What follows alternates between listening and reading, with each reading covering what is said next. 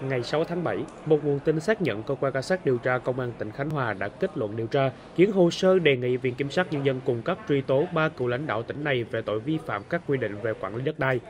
Ba cựu lãnh đạo bị đề nghị truy tố gồm ông Nguyễn Chiến Thắng, cựu chủ tịch Ủy ban nhân dân tỉnh, ông Đào Công Thiên, cựu phó chủ tịch Ủy ban nhân dân tỉnh và ông Võ Tấn Thái, cựu giám đốc Sở Kế hoạch Đầu tư, cựu giám đốc Sở Tài nguyên và Môi trường. Cơ quan cảnh sát điều tra công an tỉnh Khánh Hòa xác định ba cựu lãnh đạo trên đã có nhiều hành vi vi phạm pháp luật nghiêm trọng trong quá trình cho triển khai dự án đầu tư xây dựng nhà ở khu tổ hợp khách sạn, căn hộ du lịch cao cấp Nha Trang Golden Gate ở 28E Trần Phú, thành phố Nha Trang, gọi tắt là dự án Nha Trang Golden Gate. Dự án này do công ty trách nhiệm hữu hạn Đỉnh Vàng Nha Trang, gọi tắt là công ty Đỉnh Vàng làm chủ đầu tư. Cơ quan điều tra xác định dự án Nha Trang Golden Gate hoàn toàn không được thể hiện trong quy hoạch sử dụng đất hoặc quy hoạch chi tiết xây dựng đô thị đã được cơ quan nhà nước có thẩm quyền phê duyệt.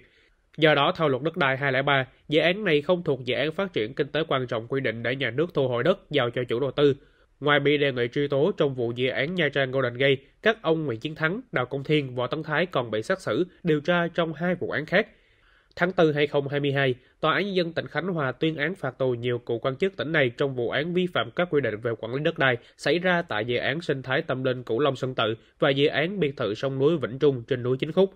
Trong đó, ông Nguyễn Chiến Thắng, cựu chủ tịch Ủy ban nhân dân tỉnh Khánh Hòa bị phạt 5 năm 6 tháng tù. Ông Đào Công Thiên, cựu phó chủ tịch Ủy ban nhân dân tỉnh bị phạt 4 năm 6 tháng tù. Ông Võ Tấn Thái, cựu giám đốc Sở Tài nguyên và Môi trường bị phạt 3 năm tù.